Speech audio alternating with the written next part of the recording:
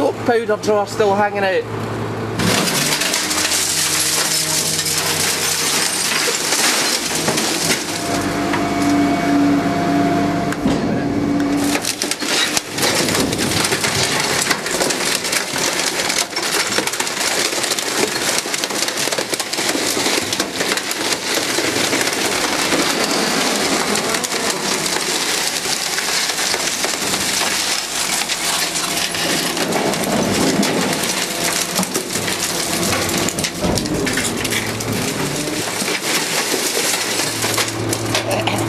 Yeah, shoved it under that time.